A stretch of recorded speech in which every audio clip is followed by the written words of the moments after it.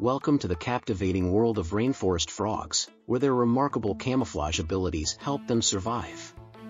In lush rainforests, these tiny amphibians blend seamlessly into their surroundings, evading predators. Discover the secrets of their unique adaptations and the rich biodiversity of their habitat. Rainforest frogs play a critical role in maintaining the delicate balance of their ecosystem embark on a journey into the mesmerizing world of mutualism, where different species engage in cooperative relationships. Explore fascinating examples, from the symbiosis between flowering plants and pollinators to cleaner fish and their clients on coral reefs. These symbiotic interactions are the hidden threads that weave the intricate tapestry of our ecosystems. Gain a deeper appreciation for the interconnectedness of life on Earth and the vital role of mutualism in sustaining biodiversity.